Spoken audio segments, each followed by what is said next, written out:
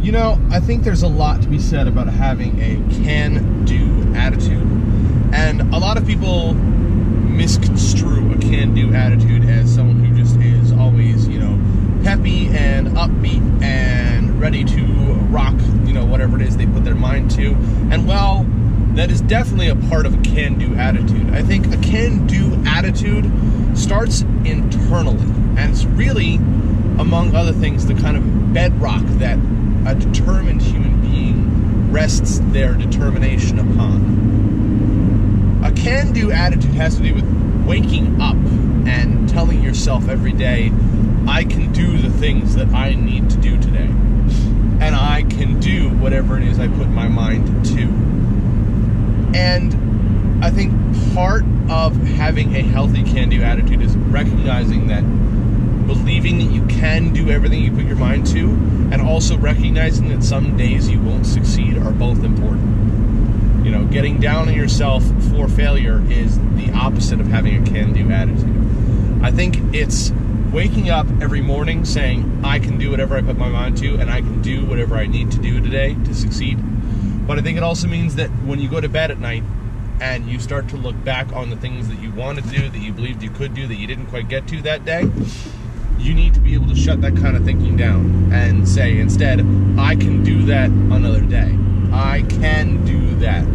And that's really the the baseline right there. It's the idea that can't should not be part of your vocabulary in relation to your abilities or your ceiling or uh, your limits.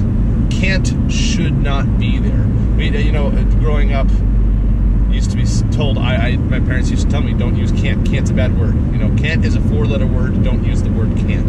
That is something that I got from my parents, uh, particularly my dad. You know, if I would say I can't do it, say, my dad would say, "No, no, no. Don't say you can't do it.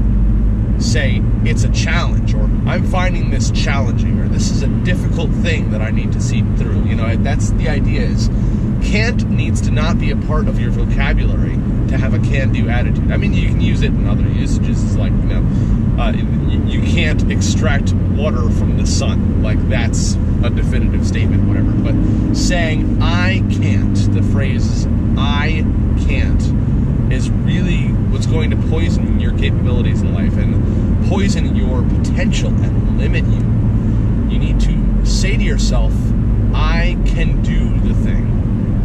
And if it's not today, it's tomorrow. And if it's not tomorrow, it's next week. But no matter what, I can do the thing if I deem the thing to be truly worth doing. And that's the final part right there, too.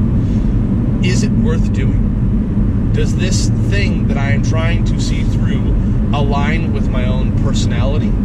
Align with my goals, my hopes, and dreams? And is it something that I want to do? Because you know, forcing yourself to do something that you don't want to do is usually a sign that you shouldn't be doing it. Not always. Like, granted, there are times in life like I don't want to do taxes. That's never something I want to do, but I have to do it anyway, and I can do it. But if you find yourself for, forcing yourself too often to do too many things, that might be the enemy of your determination and productivity. You can have the most can do attitude in the world, but if you are constantly trying to power yourself through adversity, it might be time to look for a course correction and say, I can do this course correction. I can do this shift in my life. I can do this thing to shift my life to a position where I do not need to spend the majority of my time doing things that I don't enjoy and or don't want to do and or don't align with my own personality, ethics, morals. So that's it. I would recommend to you that you adopt a can do attitude in your life. I try my best to wake up every day with that kind of attitude. Once in a while, I don't. But the vast majority of the time, I wake up with a can do attitude. And if I don't wake up with a can do attitude, I try and go to bed with one. Tomorrow, I can do better. That's it.